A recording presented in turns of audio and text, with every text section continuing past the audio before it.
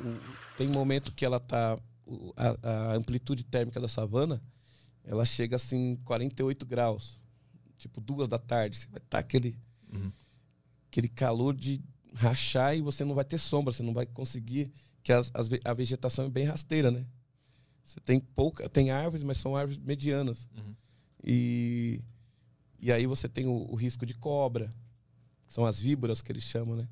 São, são, são, são cobras que se elas se enterram na areia para dar o bote. Aham. Então você tem que estar sempre atento. Se acontecer alguma coisa, existe uma, um seguro, uma equipe que está acompanhando? Todos são segurados, né? Tem seguro Uhum. de seguro para lugares extremos e a, a organização tem tem médicos, tem são oito médicos diferentes, só especialista em lugar assim em áreas remotas, né? Aham. Então tem cara que é só cuida de trauma, outros eles levam aqueles soros, né, para picada de cobra. Uhum.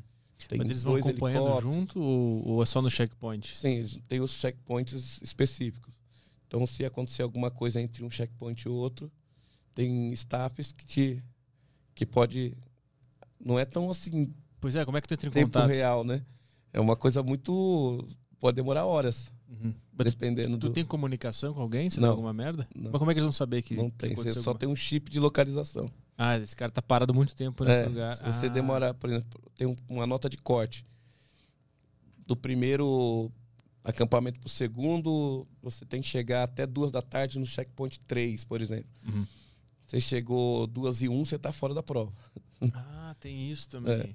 E se você não chegou ali para estar fora da prova, alguma coisa aconteceu. Então Sim. eles vão mobilizar a equipe para estar fazendo esse, Ah, entendi. né, esse é, funilamento. Mas é uma, é uma equipe grande, muito grande, muito competente, de resgate também.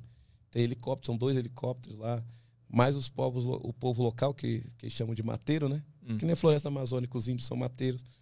Então é para estar minimizando riscos, né?